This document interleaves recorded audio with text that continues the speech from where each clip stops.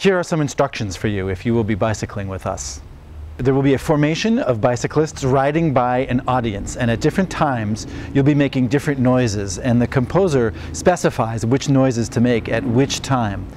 When you are approaching the audience, and when you are departing from the audience, you'll ring your bell. And then while you're driving by, you'll make a variety of other sounds. If you go to the website, you can see the score and descriptions for all of these sounds. So the ringing the bell, there are three notes. Uh, one F means kind of loud and short.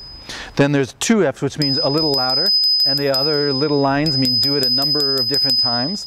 And then the third one with three Fs means wicked loud, and you do it as many times as you can. And this you do while safely riding towards the audience and then away from the audience. And you have to imagine 111 other bicyclists doing it at the same time to get this wonderful sound cloud effect of these events. Then, just before you get to the audience and the spectators, you're going to whistle and sing. By the way, the word divisi is an Italian word that means divided. So we don't want everybody whistling at once or everybody singing at once. Some people will be whistling, some people will be singing, just decide. There's two kinds of whistling. There's whistling while exhaling, which is like this. And then he wants you to whistle while inhaling, which is a different sound. And if you want to practice this, you can go in, out, in, out, He doesn't care about the specific pitch, but he wants them to get higher and higher as you go. So an instance of doing this might be, and you can hold it, and then, and then higher.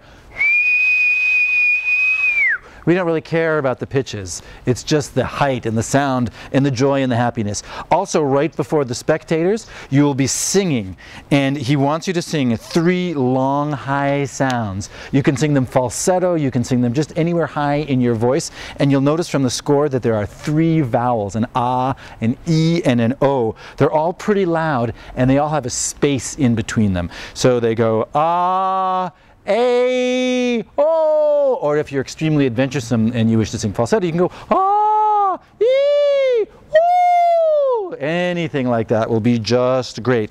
Also, you can repeat these things. You'll see there's little repeat signs on each of them. So you do those three notes and then you can go back and you repeat them. And then while exactly driving by, uh, the, you make the quietest sounds. And this is the cool part of the piece. The loudest sounds are farther away, the medium sounds are as you're coming, and right when you're driving by, you do the two sounds that are slightly quieter. So actually the volume should be roughly the same for the audience. And the two kinds of sounds you make are the four long high flutter tongue sounds, and flutter tongue just means go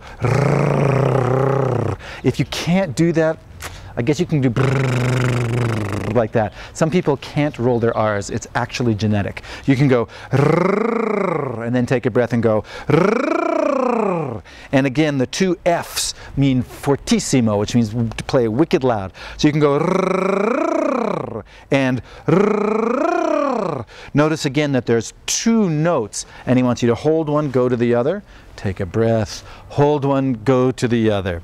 Then also when you're riding by them, he wants you to imitate gusts of winds. And these all start very soft and get louder. And you can manufacture three different ones. And it sounds like shh. So you can do this. You can go shh.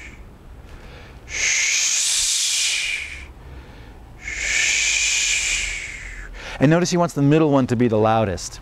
So let me recap all of these sound events. Here they are again. Here's the ringing of the bells. There's three different kind of bell rings. There's the short one, then there's the louder one, and then there's a really loud one.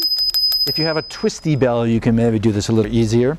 Then also as you're approaching, right before the spectators, you're whistling and singing, and the whistling is and you can repeat it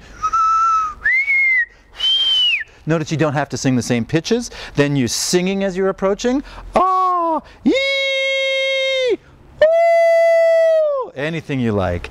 Uh, then, right as you're going by the spectators, remember the flutter tongue.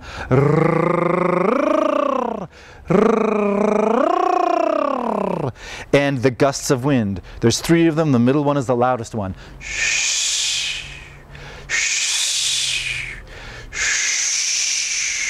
And when you are departing from the audience, you'll ring your bell. It'll be quite an event and we'll see you there.